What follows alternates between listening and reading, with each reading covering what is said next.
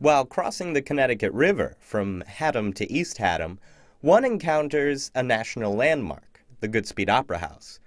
While the Opera House will be celebrating its 50th anniversary this summer, it's also always striving to reach younger audiences, whereas the average age for a theatrical audience member is around 54, according to studies from 2009 to 2010.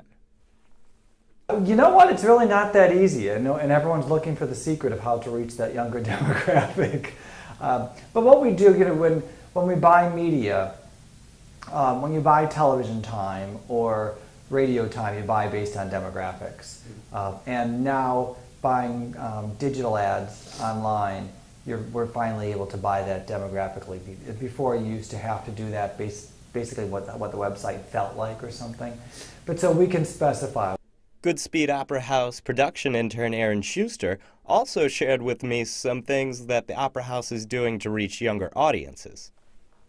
We started, um, there's an internship program and an apprenticeship program, and there's also programs throughout the year to kind of help interest children around the area. They do like a meet and greet with the cast, or there's certain programs that they'll run where it's aimed mostly at children to get them interested in the costumes aspect, the production aspect, or acting in general. We run a lot of um, camps per se for people around the ages of 18 to 21 who might be considering going into the dance field or the singing and acting field.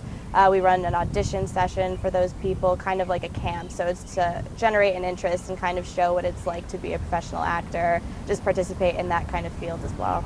The reason that we're reaching for or, or, or targeting younger demographics is just because, um, well, there's a couple of reasons, but mainly because you know the older you get, the, the more propensity people are dying and dying faster. So we don't want our whole audience to die off on us. Uh, we don't have a problem right now, thank God. We're being proactive trying to prepare ourselves. We see our audience, we know our demographics, we know that it's an older audience, so we need to replace them with a younger audience who will stay for a long time with us. Um, and the benefits are great. While the Goodspeed celebrates its 50th anniversary this summer, it's also celebrating a newfound ability to reach younger audiences by advertising through the internet.